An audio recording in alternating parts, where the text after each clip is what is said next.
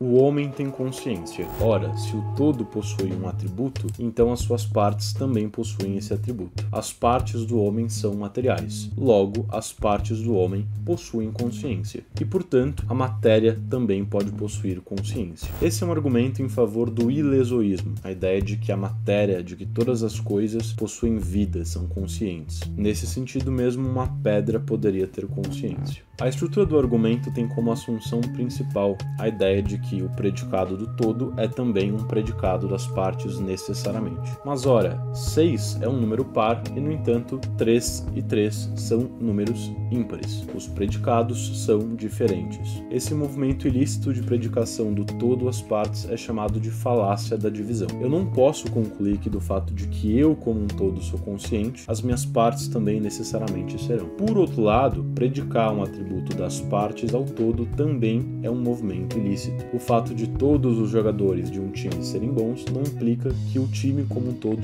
também é bom. Isso nos mostra que o todo não necessariamente é a soma das partes. Às vezes ele é algo além dessa somatória.